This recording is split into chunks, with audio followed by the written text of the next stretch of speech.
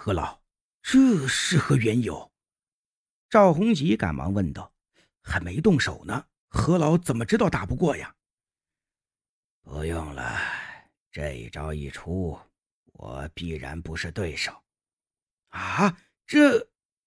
赵洪吉对林凡已经动了杀气呀，准备只要将林凡给擒拿住，就找个由头将他干掉。但现在呢，何老头直接认输，打乱了他的计划。赵洪吉。还记得当初我和你约定的事情吗？何老，你是说那件事儿？是的，要找的人我已经找到了。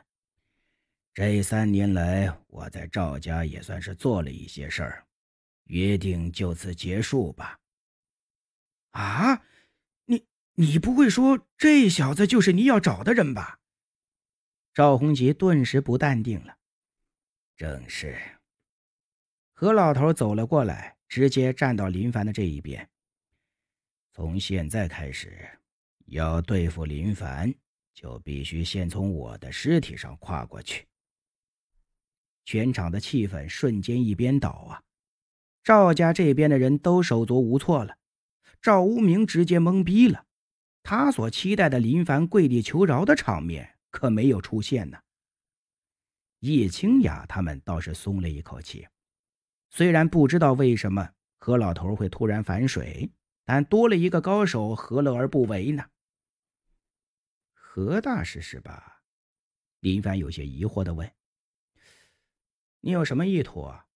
为何会突然帮我？”叫我何怀忠吧。何老头叹了口气。这件事儿说来就话长了，以后有的是机会说，眼下先从这里脱身再说吧。脱身？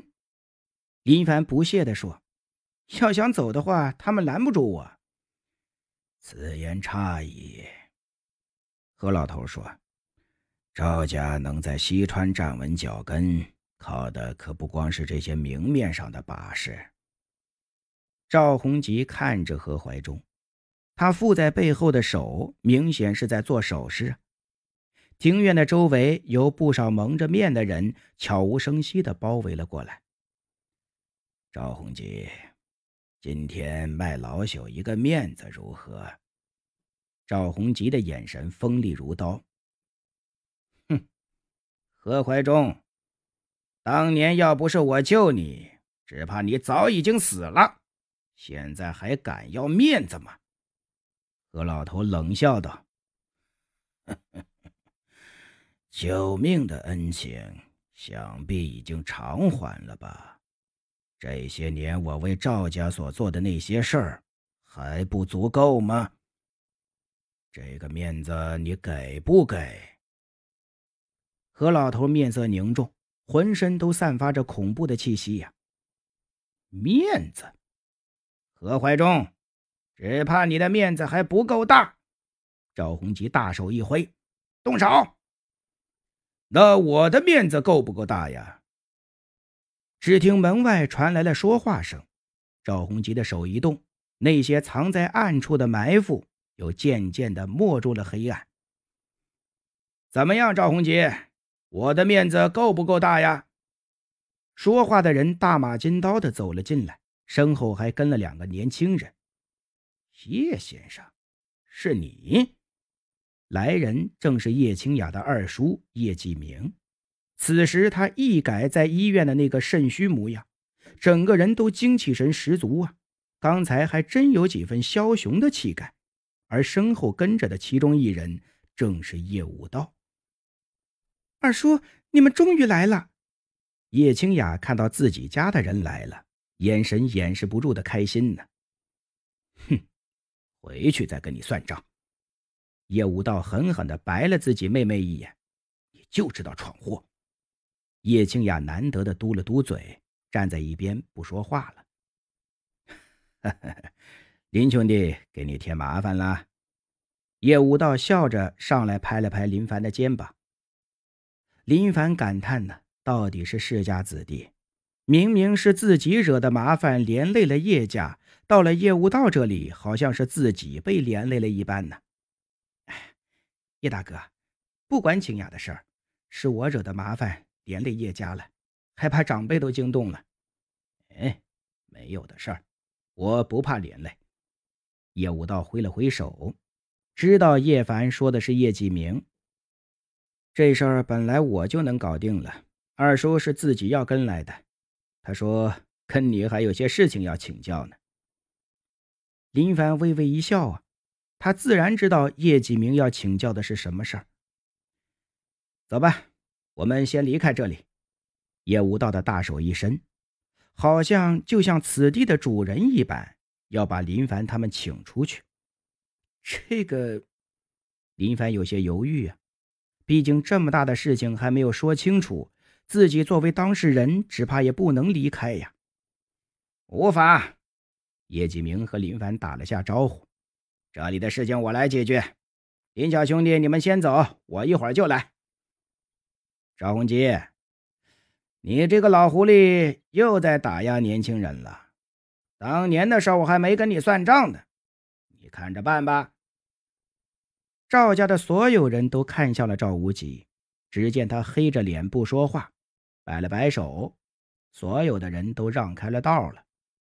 叶无道带着林凡等人直接大摇大摆地走出了无名山庄。在经过大门的时候，叶继明带来的那位年轻人一直像一棵树一样的伫立在地上。林凡跟他对视了一眼，只觉得对方的眼里好像是有一把利剑。一出山庄大门。苏清柔紧绷的神经立刻松弛了，他眼前一黑，身子有些站不稳，倒向了林凡。林凡一把握住他的手，纤细柔弱，软弱无骨。他温暖的大手传递着火热的温度，重新安慰了他。苏清柔微微一笑，却也没有松开。叶无道看着林凡左右伴着的女孩，有些调笑道：“嘿嘿嘿。”林凡兄弟，还是你们年轻人会玩啊！林凡连忙解释：“哎呀，叶大哥说笑了。”哎，叶武道根本不在意。我也是过来人，你们自己知道就好，别太出格啊！我去，老哥你这么开放的吗？还说自己来喝酒，你喝的酒呢？叶静雅，叶无道板着脸。一个姑娘家，成天的往外面跑，像什么话呀？哥，我错了，这不是事情紧急吗？叶清雅拉着叶无道的衣袖，左右的来回甩动。林凡看的是目瞪口呆呀，没想到叶清雅这么刚强的女子，竟然还有撒娇的一面，倒是更加的可爱了几分了。走吧，派了车过来，先送你们回去吧。叶无道招了招手，车子就开了过来。叶大哥，稍等，我有些话要问这位老伯。林凡和何怀忠走到一旁。方才多谢出口相救。林凡抱了抱拳，请问老伯为什么要帮我？小兄弟，你刚才使的拳法是什么名字？嗯，烈焰。林凡犹豫了一下，还是告诉了他。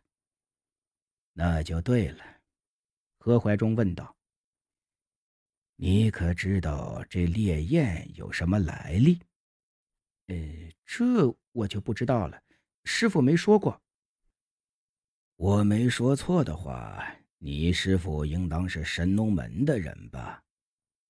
这下林凡大惊啊！他从来也没有跟任何人说过自己是神农门的人呢，话不一也不让他透露。何况现在神农门已经没落，知道的人也更是少之又少啊。这个何老是怎么知道的呢？林凡顿时一脸警惕。好了，本集播讲完毕，感谢您的收听，喜欢的话记得点一个订阅关注。